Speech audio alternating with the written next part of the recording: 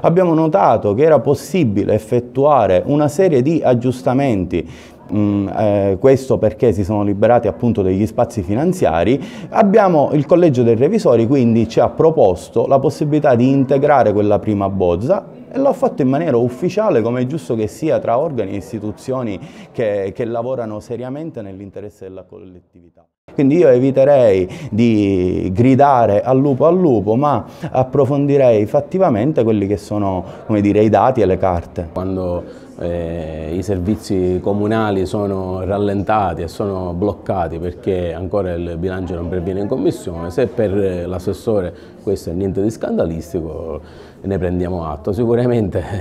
un grave, una grave limitazione dell'erogazione dei servizi comunali c'è e questo è una, eh, diciamo, determinato da rallentamento e da, a mio avviso, incapacità amministrativa per come è dimostrato eh, sotto gli occhi di tutti il paese, lo stato del paese in cui siamo ridotti. No, il bilancio è stato corretto secondo le indicazioni date dal Collegio dei Revisori